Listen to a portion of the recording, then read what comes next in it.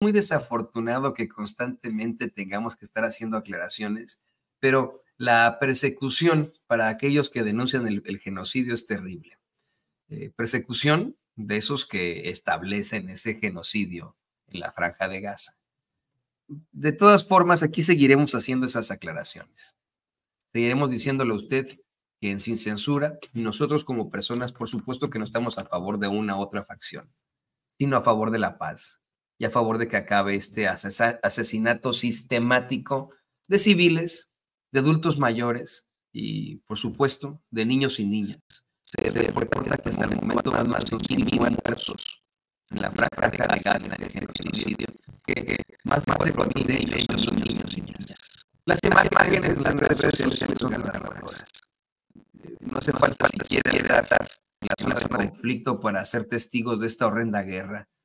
Situaciones que se están compartiendo para nosotros en Twitter, en Facebook, en Instagram. Circunstancias horrendas. Eh, imágenes eh, precisamente de niños muertos, de bebés muertos, de personas seriamente heridas eh, en esa la franja de Gaza. Y haciendo la aclaración también aquí de nuestro gran amor y respeto por el pueblo judío.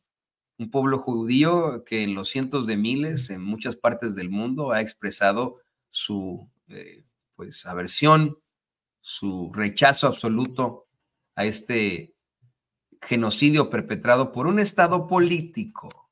Aunque suene, mire, reiterativo, lo digo con, con, toda, con toda la intención.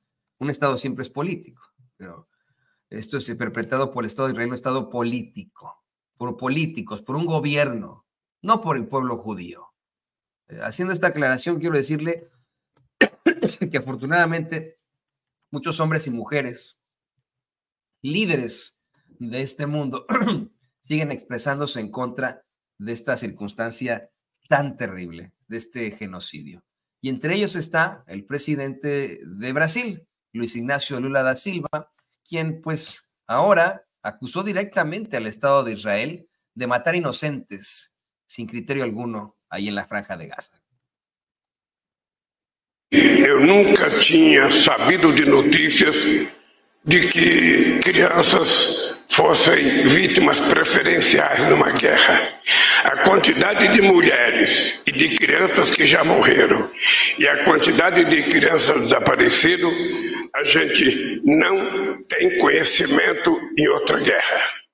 Nessa guerra, sabe, depois do ato provocado, eu digo ato de terrorismo do Hamas, que provocou um ato, as consequências da solução do Estado de Israel é tão grave quanto foi a do Hamas, porque eles estão matando inocentes, sabe, sem nenhum critério. Sem nenhum critério. Sabe, joga bomba onde tem criança, onde tem hospital, a pretexto de que um terrorista está lá, não tem explicação. Primeiro vamos salvar as crianças, as mulheres, aí depois faz a briga com quem quiser fazer. Bueno, le traduzco un poco por ahí las declaraciones, eh, eh, no, no es que yo hable portugués, están escritas aparte, ¿no? Ah, dice el presidente de Brasil, Luis Ignacio Lula da Silva, que matar inocentes, eh, que está matando inocentes sin ningún criterio. Dice, después del acto de terrorismo provocado por Hamas, las consecuencias, la solución de Israel ha sido tan grave como la de Hamas. Están matando inocentes sin ningún criterio. No hay explicación primero salvemos a los niños y las mujeres y después de que se dé pelea con quien sea. Dice, nuestra comunidad espera que eh, el equilibrio de nuestras eh, autoridades, pues ahí están las declaraciones de alguien como el presidente de Brasil, Luis Ignacio Lula da Silva.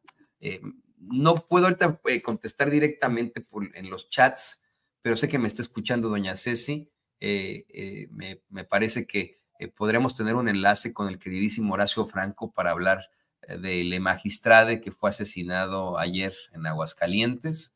muy, muy pendientes de esto. Si, si se puede, adelante, doña Ceci, por favor. Visto bueno, luz verde. Tan pronto entre el queridísimo Horacio, pues aquí con mucho gusto comenzamos a hacer los planteamientos pero aquí estamos más que listos. Adelante, Ceci, ¿eh? si es usted tan amable, por favor, sí, sí y más que sí. Eh, mientras tanto, pues, ¿qué le parece que vamos